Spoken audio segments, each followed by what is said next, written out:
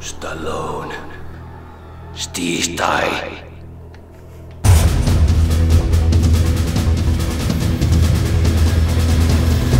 Morjesta pöytään, se olisi taas Apassilaan asiaa. Ensinnäkin tuhannet tuhannet kiitokset taas teille, jotka, o, jo, teille, jotka jaksoitte kommentoida kautta kertoa vähän mitä mieltä te olette mun ohjelmasta. Ja kiitokset myöskin niille, jotka vähän korjaili mun tietoja. Sori, tuossa meni yksi vuosi vähän pieleen yhdessä, yhdessä kohtaa. Ja mutta mä vähän korjailin sitä juttua sen takia, että myöskin Cliffhanger oli myöskin seuraavana vuonna todella todella katsottu elokuva. Ja halusin vähän verrata niin kuin keskenään niitä, että miten True Lies Speed ja, ja Cliffhanger pärjäs keskenään. Koska koin, että ne kolme toimintaleffaa oli siinä rytäkässä aika isoja menestyksiä, joten halusin vähän niin kuin verrata niitä keskenään. Ja toinen korjaus oli muun muassa siitä Michael Douglas. Michael Douglas ei ollut tota, tuottajana tuossa spesialistista, vaan hän hengaili kyllä siellä kuvauksessa mukana ja hän kyllä roudasi ne viinat.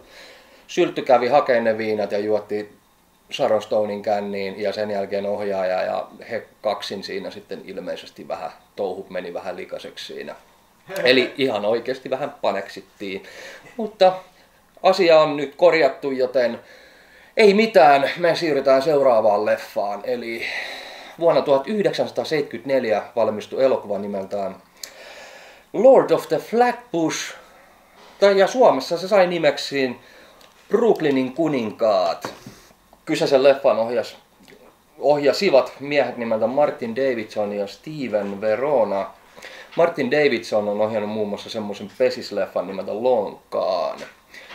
Steve Veronasta mä en oikeastaan tiedä mitään. Joten käydään pikaisesti juonen kimppuun.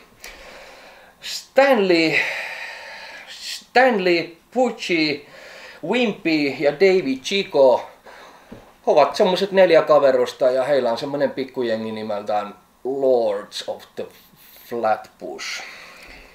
Eli, ja he hengailee siellä Brooklynissa, Brooklynissa ja heillä ei oikein mitään muuta tekemistä ole kuin hengailla tuolla biljardisaleilla, kahviloissa ja välillä koulun kulmilla vikittelemässä nuoria tyttöjä. Ja sitten hypätään vähän niiden sellaisen elämän, elämän, elämän vaiheeseen, milloin tota, aikustumisen kynnyksellä vähän seurataan, mitä heille kuuluu, miten, miten niiden elämä menee.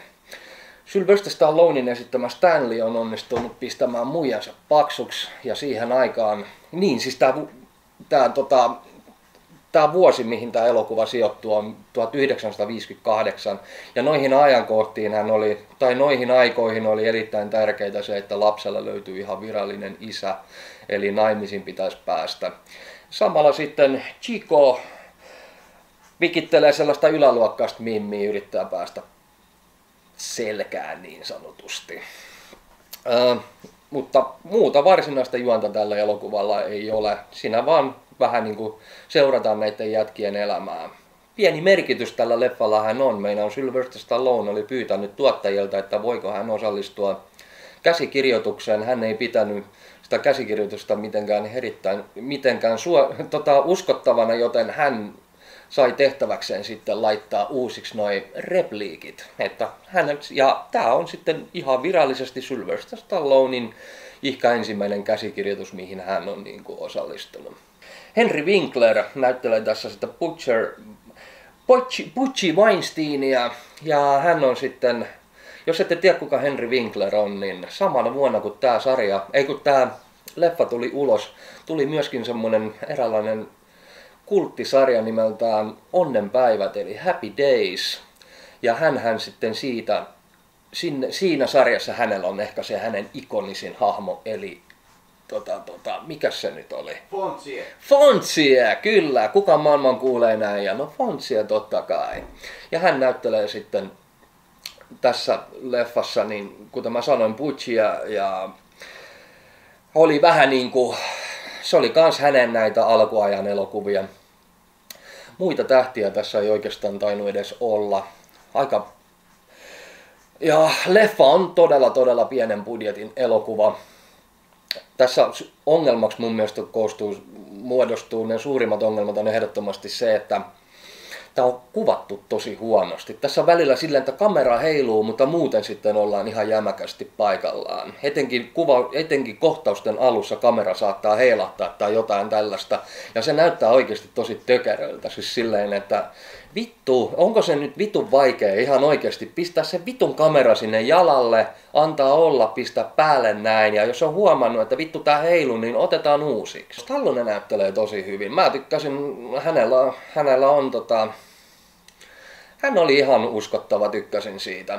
Mutta kuten sanoin, elokuvan suurimmat ongelmat on taatusti tuossa tuotantopuolella, että elokuva ei näytä hyvältä. Se on kuvattu huonosti. Sitten tuossa...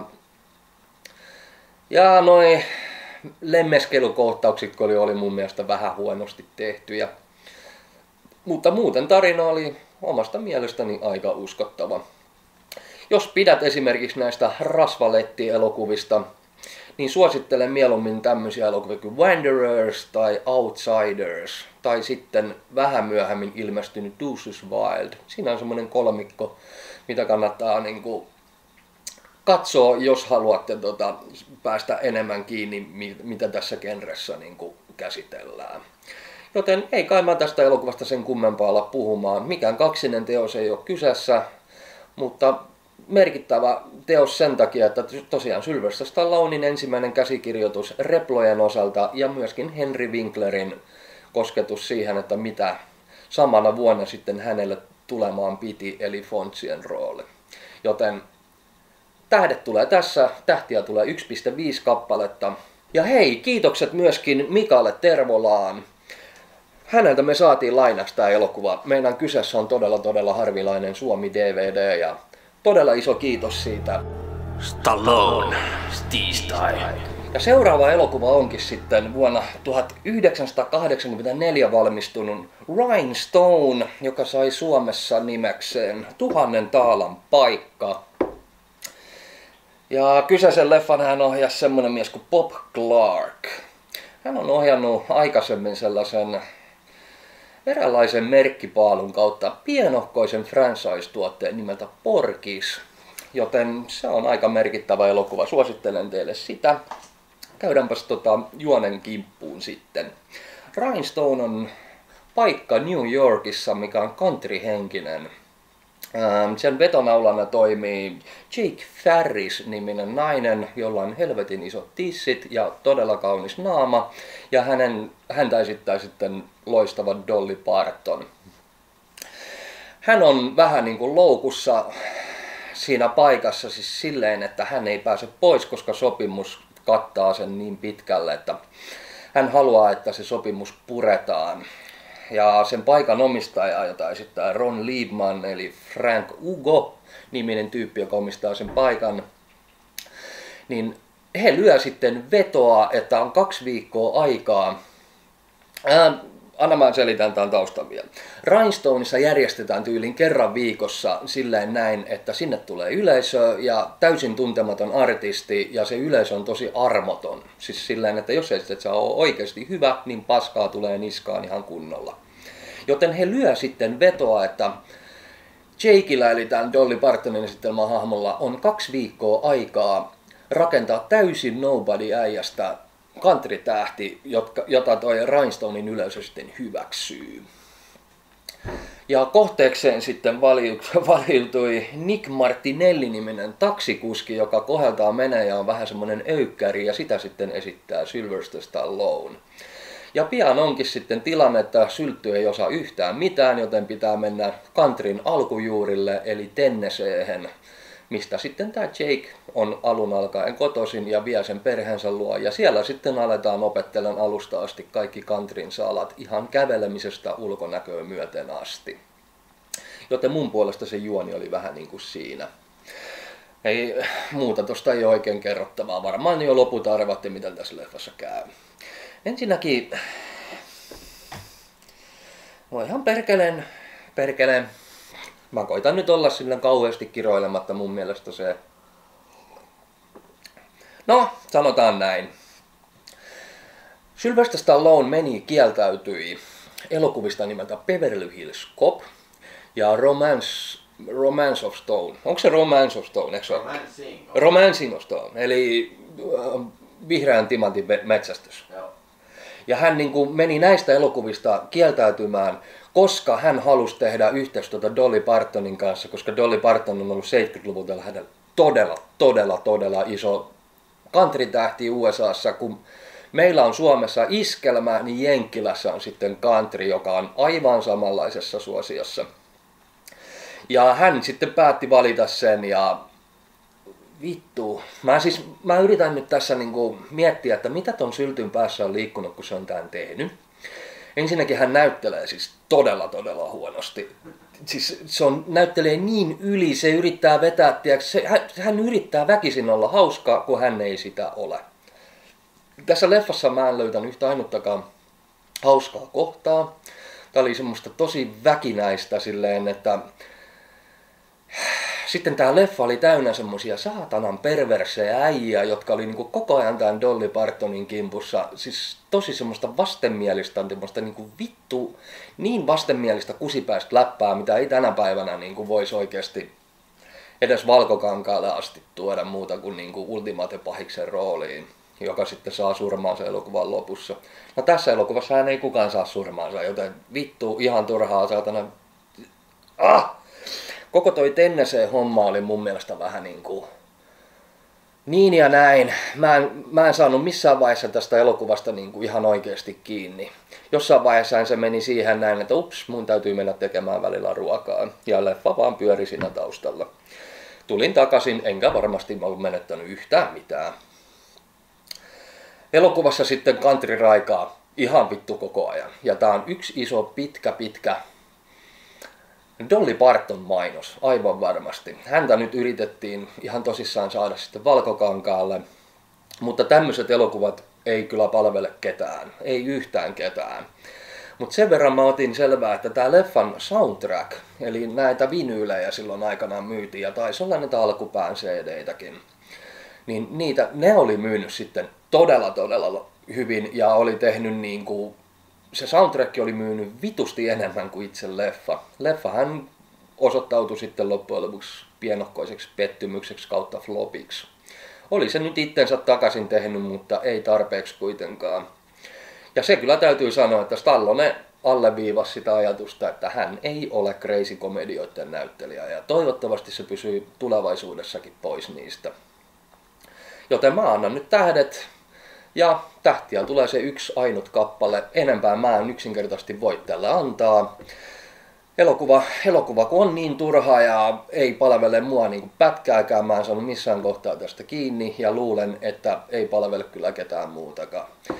Tämä on, tämä on täysin suunnattu jenkkiläisille HC country-faneille, ei ollenkaan Eurooppaan eikä kellekään muullekaan. Mä luulen, että tällä leffalla on yritetty myydä sitten tätä country-musiikkia myöskin muu, muulle maailmalle ja yritettiin tehdä Dolly Partonista niin kuin maailmanlaajuista supertähteä. Epäonnistuen törkeästi.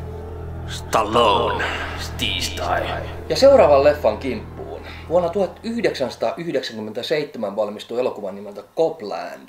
Kyseisen elokuvan ohjas mies nimeltä James Mangold. Hän on myöhemmin ohjannut Oscar-elokuvan Walk the Line ja myöskin hieno, hieno sarjakuvaan perustuva elokuvan Logan. Ja suosittelen niitä kahta teille. Hieno ohjaaja sitten kyseessä.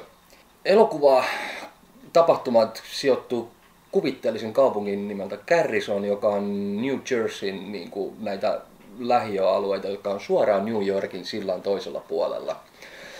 Ja kyseinen kylä on täynnä, siis käytännössä asukkaina toimii vaan ja ainoastaan poliisit. Eräänä iltana sitten New Yorkista kotiopäin menossa poliisi nimeltä Murray Babbage, jota esittää Michael Rapaport. Hän onnistuu ottaan erään autolla öykkäröivän jengin kanssa vähän yhteen ja hän sitten aikoo pienessä pienessä tuhnussa hän sitten tulittaa ympäriinsä tulittelee vähän ympäriinsä ja onnistuu tappamaan yhä jengiläisistä siellä. Ja sitten selviää, että eihän se mikään jengiläinen edes ollut, eikä sieltä mitään huumeitakaan löytynyt. Ja e- ei ollut aseita eikä mitään, joten huomataan, että tämä Michael Rapaportin esittämä Murray, jonka lempinimi on joku Super Kid, niin hän on sitten korvia myöten kusessa, joten siinä samassa rikospaikassa he myöskin lavastavat hänen kuoleman ja yrittävät piilottaa sitten tänne Garrison nimiseen kaupunkiin, jossa sitten seriffinä toimii herran nimeltään Freddie Heflin, jota sitten Sylvester Stallone esittää loistavasti. Ja siinä sitten alkaa pikkuhiljaa selviämään, että koko kylä pyörii vähän niin kuin mafian rahoilla ja likasten kyttien rahoilla. Ja siinä sitten muurit alkaa pikkuhiljaa kaatumaan noiden poliisien ymmär- ympäriltä, kun Carrie Figgis, niminen poliisi, jota esittää loistava loistava Ray Liotta, joka on myöskin Freddie Heflinin parhaita ystäviä siellä kylässä. Hän sitten alkaa käymään vähän hankalaksi ja sitten siellä kylässä alkaa tapahtumia, tapahtumien ketju sitten, mikä johtaa myöskin murhiin ja siihen, että myöskin tämän Michael Rabaportin esittämän Murray-hahmon pitää saada hengiltä. Näihin ajankohtiin, mä muistan kun tämä leffa tuli, niin mä luin juttuja, että, että Sylvester Stallone kärsi, ei kun Sylvester Stallone oli lihottanut kyseistä leffaa varten 20 kiloa ja että, että saadaan vähän jotain uskottavuutta. Mutta mä sitten vähän myöhemmin näin haastattelun, olisiko ollut jonkun toisen leffan tiimosta, olisiko se ollut Get Carterin tiimoilta. Niin siinä hän sitten kertoi, että ei hän mitään lihottanut, hän, että hän sairastui todella vaikeasti masennukseen ja se tuli sitten sen mukana se lihoaminen ja ja Sylvester Stalloneista täytyy sanoa, että hän ei hän tässä näyttele sitä Fredia, vaan hän on se itse. Hän, hän, hän on se Fredi itse, se kaikki olemus, se, hänellä ei ole ryhtiä, hän on ylipainoinen, hän on niin kuin pöhöttyneen näköinen, kaikki se, niin aivan uskomattoman hyvin näyttelee.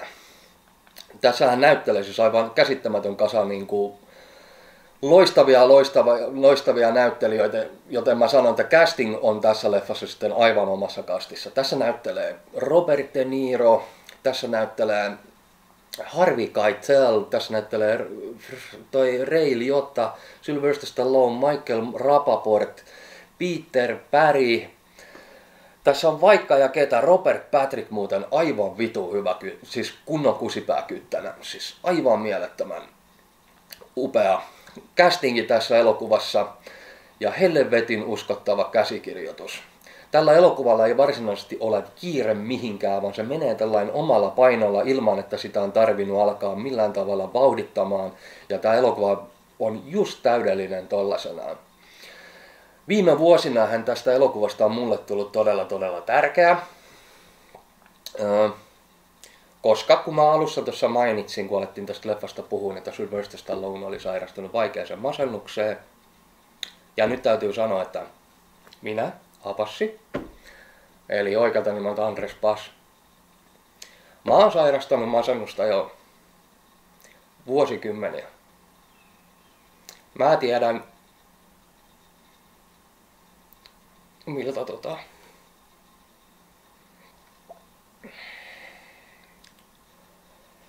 miltä tuosta sy- syltystä on tuntunut, kun se on tuossa näytellyt. Ja aina välillä täytyy tälle leffan parin palata muistutakseen, että niin kuin, miten vaikeasta leffasta on niin kuin mulle henkilökohtaisesti kysymys. Haluaisin pyytää anteeksi mun perheeltä, etenkin mun vaimolta. Mä oon ollut niin syvässä pimeässä kuopassa välillä, että mä en, mä en oo päässyt sieltä ylös ja nähnyt, miten vaikeita heillä on. Mä kiittää Villeä ja Akua he ovat ymmärtäneet, että mulla ei ole kaikki hyvin. Ja ne on seissyt mun rinnalla tämän ajan. Ja mä haluan kiittää niitä yli kaiken siitä. Joten tähdet mä haluaisin nyt antaa. että te varmaan nyt ymmärrätte, että miten tärkeä elokuva tämä on ollut mulle. Ja viisi tähteä. Kiitos. Tämä on mulle helvetin tärkeä elokuva. Viisi tähteä. Joo, hyvä leffa ja kyllä apassi on rautaa, saatana. Kiitos. Niin. Stallone, tiistai. Kuten mä tuossa Coplandissa jo kerroin, niin että Sylvester Stallone sairastui vakavaan masennukseen. Hän oli pois käytännössä valkokankaalta melkein kolme vuotta. Teki hän siinä välissä jotain duppausjuttuja, mutta naamansa hän ei missään varsinaisesti näyttänyt. Joten seuraava elokuva, mikä hän teki, oli sitten vuonna 2000 ilmestynyt Get Carter, joka on siis remake tähän, tälle 71 ilmestyneelle elokuvalle. Ja kyseisen ohjaus semmonen mies kuin Steven Kay. Hän on todellinen TV-sarjojen superohjaaja. Hän on ohjannut vaikka ja mitä, Breaking Badista Shieldiin asti. Että siis hän on ohjannut oikeasti kovia sarjoja. Joten se siitä ohjaajasta. Puhutaan hetki elokuvasta. Sylvester Stallone näyttelee Jack Carter-nimistä velkojen perijää, joka toimii Los An- ei kun tota, Las Vegasissa taitaa olla, joo. Hän saa kuulla, että Broidi kuolee Seattleissa ja lähtee sitten sinne. Alkaa pikkuhiljaa selviämään, että jokainen hahmo, kenet hän siellä tyyliin tapaa alamaailmasta, niin jokainen hahmo on enemmän tai vähemmän mukana hänen Broidinsa kuolemassa. Samalla sitten yritetään Broidin perheen kanssa saada tota, välejä kuntoon, etenkin hänen tyttärensä kanssa. Joten juoni oli siinä. Ensinnäkin täytyy ihmetellä syvästi, että mikä helvetin takia tästä on pitänyt remake tehdä. Tai jos olisi tehty se remake, niin oltaisiin sitten kirjoitettu se ihan oikeasti kunnolla. Kyseinen elokuva on niin semmoinen alleviivatun, muka kuuli, kaikki hahmot on jotain ihme yrmyjä tässä, kukaan ei näyttele hyvin. Sylvester Stallonekin näyttelee hyvin, mä en usko missään vaiheessa tähän Carterin tarinaan. Ja mä, mä oikeasti, mä, mun on tosi vaikea tästä leffasta sanoa varsinaisesti mitään, koska tää on kaikin puolin täysin semmoinen tasapaksu puurtaus läpi, läpi tämän koko leffan, että tässä missään vaiheessa ei tullut semmoista oloa, että hetkonen, mähän katoinkin jotain hyvää elokuvaa. Että ensinnäkin Miki Rourke näyttelee myös tässä. Hän näytteli muistaakseni, hetkonen, Cyrus, joo, Cyrusta näytteli hänkin näytteli tosi huonosti. Musta tuntuu, että tää on semmosia, ja sitten ne hahmot oli jotenkin alleviivatun pahiksia. Että kun tulee joku pahoinpitelykohtaus, niin hänen pitää sit vittu hakata se. Siis sillä ihan tosissaan hakata hakata. Että se ei niinku voi, ei tajuttomaksi, vaan pitää ihan tyyliin kuolemaan asti hakata. Sylvester Stallonein Carterin hahmossa on vähän sama ongelma tässä. Sitten hän tietenkin tässä näyttelee Michael Caine myöskin.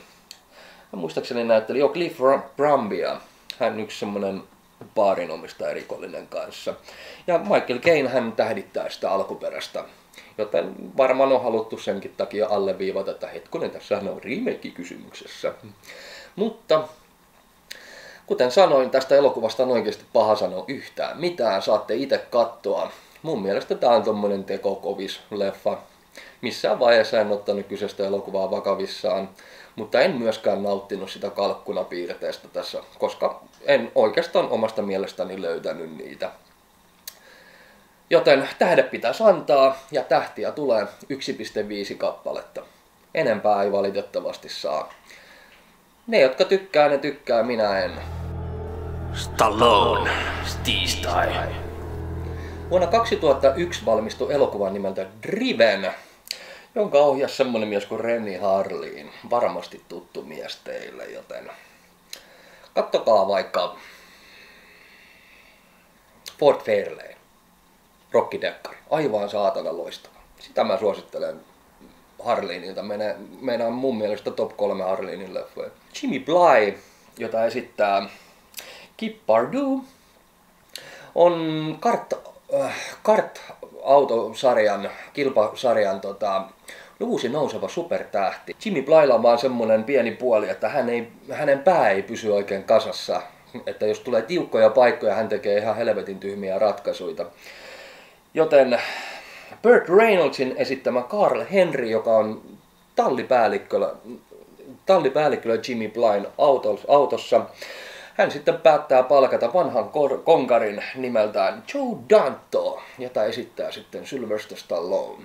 Joe, Joen tehtävä on vähän niin kuin saada Jimille vähän niin kuin järkeä päähän kilpailuihin ja rauhoittaa samalla hänen aggressiivista tyyliä, että nyt ihan oikeasti pitää niitä pisteitä kerätä ja voittoja, että sinusta tulee maailmanmestari. Joten sitä kautta sitten aletaan seuraamaan, että miten toi Jimmy pärjää ja miten ne kisat sitten menee ja bla bla bla. Ja sitten sieltä tulee myöskin vähän näitä henkilödraamojakin sitten siihen mukaan. Vähän leffan taustoista tähän piti olla alun perin, siis alun perin alku, alku ihan niitä raaka käsikirjoituksia oli, niin tämä leffahan piti kertoa Ayrton Sennan ja Alain Prostin välisestä taisteluista Formula 1. No ensinnäkin Sennan, ymmärtääkseni Sennan suku oli sitten sanonut, että ette vittu varmasti tee ja to, sitten toinen ongelma oli, astui esiin oli se, että Bernie Ecclestone, joka sitten omistaa Formula 1 kaikki TV-oikeudet, oli sitä mieltä, että muuten ette varmasti tee Formula 1 yhtään mitään. Joten kart-auto-sarjaan tämä sitten siirrettiin. Ja siinä vaiheessa oli jo silleen, että puolet, puolet leffasta oli käytännössä ja kadonnut. Toisekseen kart-autosarja ei ole todellakaan Jenkkilässä mikään iso juttu, joten on todella vaikea kuvi, tota, todella vaikea ymmärtää, että kelle tämä elokuva on suunnattu. Eurooppalaisille tämä ei ole missään nimessä suunnattu, koska täältä kart-autoilua tässä käsitellään, eikä todellakaan tuota Formula 1. Mä olisin ymmärtänyt, jos Formula 1 olisi ollut kysymys, katsojia olisi varmasti tullut Euroopasta ihan vitusti. No, ei ollut, ei. Tää leffa on kaikin puolin siis aivan kelvotonta sontaa. Tää on oikeasti Tää on niin älyttömiä kohtia täynnä. Okei, tässä on muutama semmonen kalkkunakohtaus. Esimerkiksi semmonen kohtaus, missä ne alkaa Toronton kaduilla ajelee niillä vitun formuloilla ihan käsittämätöntä kyytiä ilman minkäännäköisiä kypäröitä eikä mitään. Se tuulen vire voi olla aika paha, kun sä vedät kahta ja puolta sataa tuolla pää ulkona Joten siinä kohtauksella mä nauroin tosi paljon, mutta kaikin puolin elokuva on muuten semmoista ihme väkisin vääntämistä ja ja täytyy myöskin sanoa, että tässä on todella huonot erikoisefektit. Mä en missään vaiheessa uskonut tähän, niin kuin, nää, nää, siis tää oli, kun autoja lentelee yli ja ali ja menee paskaksi sun muuta ja sitten hidastuksia käytetään, niin silti ne näytti niin vitu huonolta. Mä ja sitten jossain kohtaa alkoi myöskin elokuvassa tämä moraalinen, moraalinen kello, eli alettiin moraalijuttuja tunkemaan tähän. Esimerkiksi yksi jätkä meinas kuolla, niin ei, ei vittu, minä hänen kaveria jätä, vaan mä menen vittu pelastamaan kaveria, vaikka sulla on voitto ihan niin kuin näpeissä. Ja tuskin luulen, ja luulen, että mä mulla on tosi vaikea tästäkin leffasta sanoa oikeastaan mitään. Tää on niitä Harleenin, väitän jopa, tää on melkein Harleenin huonoimpia. Menee top kolme huono, huonoimpia elokuvia. Tätä elokuvaa ei olisi missään nimessä pitänyt tehdä. Tämä olisi pitänyt saman tien hylätä tämä idea siinä vaiheessa, että Bernie Ecclestone löysi topin sille, että Formula 1 leffaa ei tehdä. Leffahan maksoi ihan saatanasti. 63 melkein 64 miljoonaa dollaria ja se ei tehnyt edes 25 takaisin, joten todella pahasta flopista on sitten kuitenkin kysymys. Joten ei, ei kun anteeksi, 94 miljoonaa maksoi tämä leffa ja teki just ja just 55 miljoonaa takaisin, joten paha floppi oli kyseessä. Joten mm, tähtiä ei tälle voi antaa kuin yhden tähden. Joten yksi tähti, ei tälle voi. Tää on niin hirveä elokuva kaikin puolin. Tää on siis tungettu semmosia suht semikuuluisia naamoja leffa täyteen, mutta ei se niinku... Suurimmat tähdet tässä on Burt Reynolds ja Sylvester Stallone ja mun mielestä Stallone oli vielä hahmona vähän jopa semmonen näin, että mä en edes muista kauheasti hänestä tässä mitään. Ja tästä on kuitenkin aika vähän aikaa, kun mä oon ton kattonut. Joten yksi tähti, mä oon oikeasti tosi pahoillaan kaikki autoiluystävät, mutta mä en saa tästä niinku yhtä tähteä enempää. Stallone, tiistai. Ja seuraava elokuva onkin vuodelta 2002 nimeltä D. D-Tax, joka tunnettiin myöskin Jenkkilässä toiselta nimeltä ICU. Öö, käydään pikaisesti juoni läpi. Ei kun hetkonen, tämä elokuvan ohjas Jim Gillespie. Gillespie, ja hän on ohjannut myöhemmin semmoisen omasta mielestäni suht hyvän kauhuelokuvan nimeltä Joyride. Sylvester Stallone esittää Jake Malloy, Malloy nimistä tutkijaa, joka tutkii lähinnä sarjamurhia. Ja eräs sarjamurhaaja riehuu kaupungissa todella pahasti tappajan kyttiä. Ja koko ajan hän tulee vähän niin kuin lähemmäksi ja lähemmäksi tätä Jakein elämää tappamalla eka hänen ystävänsä ja sen jälkeen hänen puolisonsa. Joten Jake Mallow vaipuu aika pahaan masennukseen ja alkaa sen jälkeen kuppi maistumaan. No, kupin, siinä kupinoton ohessa sitten kaverit yrittää saada häntä vähän niin kuin, että kamaan, että, että nyt me löydettiin sulle hyvä parantalo, missä, missä sitten tota, on pelkästään alkoholisoituneita poliiseja siellä, että hän on niin kuin omien ympäröimänä. Ja, ja sitten samalla saada sitten vähän muuta ajateltavaa ja saada elämänsä taas raiteille. Joten Jake sitten päättää, että hän menee sinne. Sitä, ähm, sitä, sitä, sitä, sitä parantaloa johtaja esittää Chris Christopherson. Sen on John Mitchell-niminen äijä, joka sen paikan niin kuin omistaa ja on, välittää oikeasti poliisista ja heidän tulevaisuudesta. Ja samaan aikaan sitten, kun Jake saapuu sinne, niin alkaa sitten myöskin eräs, alkaa taas tuttuja sarjamurhia tapahtumaan, eli yksitellen niitä poliiseja, jotka siellä parantalossa on, alkaa yksitellen niitä päitä tippumaan. Ensinnäkin vuonna 1996 valmistui semmoinen elokuva kuin Scream, ja se toi sellaisen eräänlaisen uuden slasher-genren meille kaikille ihasteltavaksi. Eli tässä oli just tarkoitus se, että ollaan perinteinen slasher-elokuva, mutta siinä aletaan heti pohtimaan sitä, että kuka tämä murhaaja on tuossa naamarin takana, että se on pakko olla joku hahmo, joka on koko ajan tuossa näkyy. Ja, on. ja se teki sellaisen eräänlaisen antipalveluksen koko genrelle meinaan alkoi tulee sitten mitä ihmeellisempiä samantyylisiä elokuvia, kuten esimerkiksi Tiedä mitä teit viime kesänä ja Urban Legend ehkä ne nimekkäimmät siitä, niistä, niistä, niistä ripoffeista, mitä Screamista tehtiin.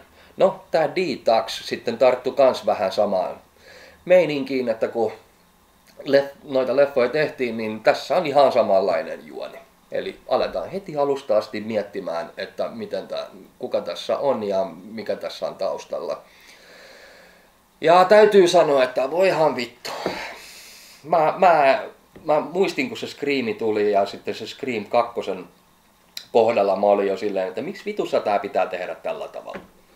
Et miksi, miksi, miksei tässä voi olla vaan rehellinen slasher ja semmoinen kauhu, kauhu, joka keskittyy enemmän näihin korekohtauksiin ja eikä niinkään siihen, että saa olla päätäs vaivaamaan, että kuka hän vittu toi seuraava jatka on, joka lähtee tai kuka, kuka on se seuraava tyyppi tai kuka paljastuu murhaajaksi. Mä, se teki mulle niin antipalveluksi. Mä en tykännyt alkuunkaan siitä meiningistä. Ja tää leffa on ihan täynnä, siis just ja vaan ja ainoastaan tätä näin.